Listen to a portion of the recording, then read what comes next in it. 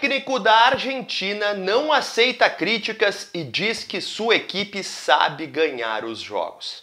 Olha o que disse o Lionel Scaloni, treinador da seleção argentina, em entrevista coletiva antes da semifinal da Copa do Mundo contra a Croácia, marcada para esta terça-feira.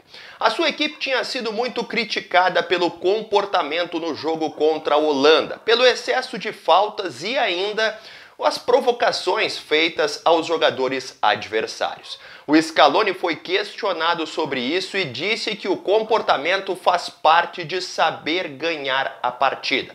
Que a Argentina sabe atacar e defender e que o árbitro está lá para fazer justiça quando achar necessário.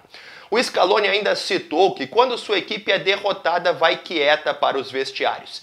E lembrou a Copa América de 2021, quando a Argentina foi campeã sobre o Brasil e o Neymar confraternizou com o Messi e outros atletas argentinos depois da partida. Segundo o Scaloni, isso é um exemplo de saber ser derrotado. A Argentina conta com o Messi como grande expoente. O Scaloni também foi questionado sobre ele em sua entrevista. Segundo o técnico da Argentina, é hora de desfrutar do Messi, que pode estar disputando a sua última Copa do Mundo. Quem vencer entre Argentina e Croácia terá pela frente o ganhador do duelo entre Marrocos e França na final da Copa do Mundo, marcada para dia 18. Qual?